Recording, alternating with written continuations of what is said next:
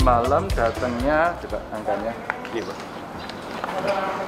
62.560 dosis.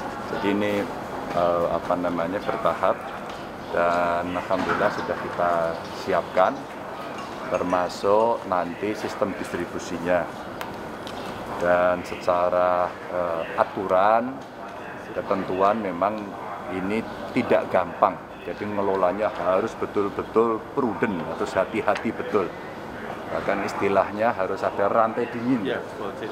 cold chain-nya itu mesti jalan dari sini storage-nya dingin nanti juga eh, dari produksinya. terus kemudian dari eh, distribusi nanti sampai ke kabupaten kota di puskesmasnya mungkin tempatnya agak lebih kecil sampai ke orangnya nanti perlu tremos kecil ya yang itu nggak boleh putus agar eh, vaksinnya tidak rusak ya ini ya.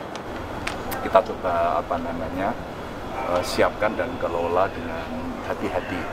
Ya kita nanti tinggal tunggu jadwal-jadwal berikutnya untuk deliver dan ini akan eh, jalan terus menerus Ini vaksin apa Pak yang datang? ini Sinovac ya? Sinovac. Rencana pelaksanaan vaksinasi kapan Pak? Setelah sudah ada jadwalnya? 14 Januari. 14 14 Januari. 14 Januari kita sudah siapa siap. Pak target? Oh ya kalau ini saya udah ya. Jadi yang tahap pertama kita untuk tenaga kesehatan dan penunjang di seluruh vaskes itu tahap pertama. Nanti untuk tahap kedua ini untuk pelayan eh, publik ini ada TNI, Polri, Satpol PP, petugas bandara, pelabuhan, kereta api, guru, tokoh agama, tokoh masyarakat. Ini yang tahap kedua. Nanti tahap ketiga untuk masyarakat rentan, ya. Terus kemudian yang terakhir nanti untuk masyarakat dan pelaku ekonomi. Jadi kalau kita sudah menghitung totalnya kurang lebih eh, tenaga kesehatan kita sudah kita hitung 177.784.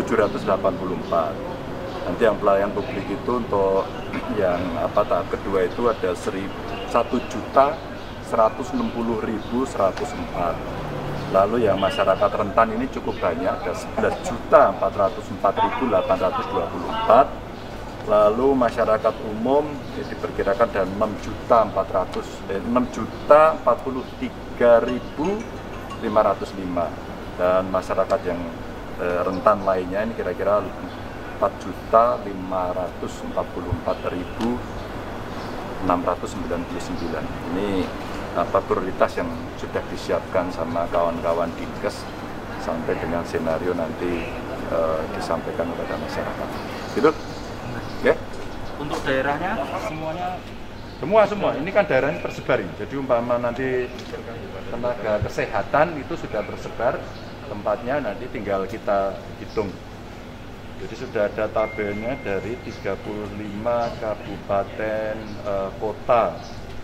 Saya kira terbanyak di kota Semarang. Terus yang kedua ada di Solo, yang ketiga di Banyumas. Ini rata-rata yang jumlahnya di atas 10.000.